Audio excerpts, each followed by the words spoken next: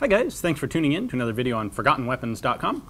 I'm Ian. I'm here today at the Rock Island Auction House. I'm checking out some of the cool guns that they're selling in their September 2015 premiere auction. And I have, in this little tiny leather case, a little tiny pistol. Aw, oh, isn't that cute? This is a 4.25 millimeter Menz Liliput. Uh, Menz as M-E-N-Z. Now, Menz made these in 4.25, which is tiny. That's like uh, 17 caliber. They also made them in 25 auto and 32 auto. Not surprisingly, those two were far better sellers than this incredibly minute little thing.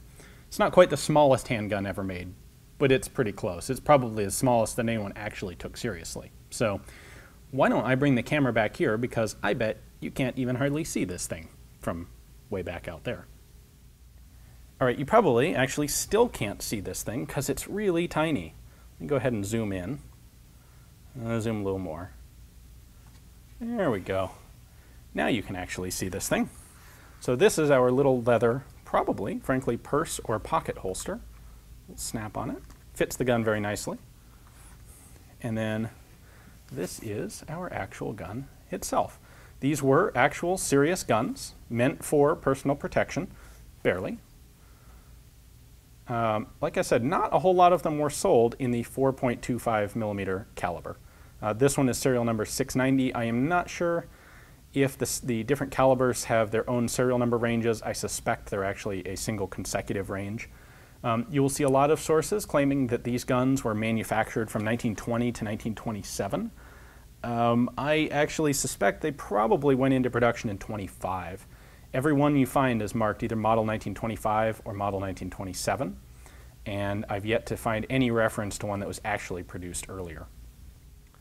Not a whole lot else to say about these. Um, they are a simple blowback pistol. We have a detachable magazine down here. Holds eight rounds. And uh, the, the ballistics on this were a, a 12 to 15 grain projectile going about 800 feet per second so that gives you a grand total of 17 foot-pounds of energy, which is minuscule in comparison to anything else, but, well, it's something, I suppose.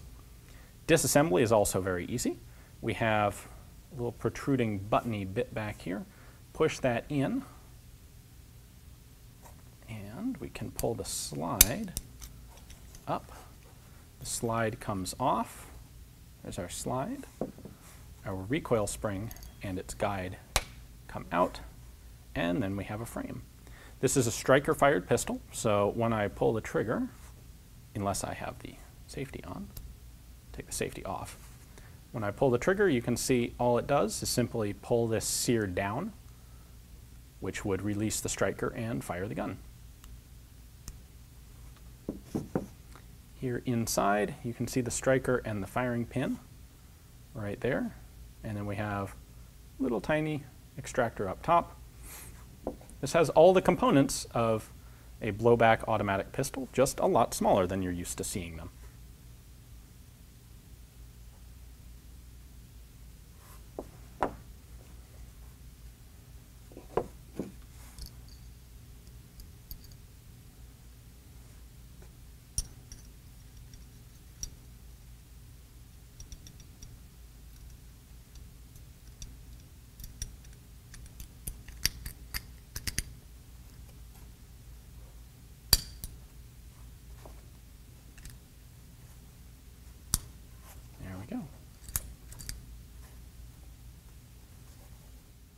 Well, thanks for watching. I hope you guys enjoyed the video, despite it being a gun so small you can't even see it from back there. If you'd like to own this, uh, I'll tell you what, this takes very little storage space in a collection. Uh, it is, of course, coming up for sale at Rock Island, so check the link in the description text below. That'll take you to their catalog page on it. You can see all their pictures, their description, and place a bid or come on down here in person and bid, bid live. Now, thanks for watching. Hope you enjoyed the video.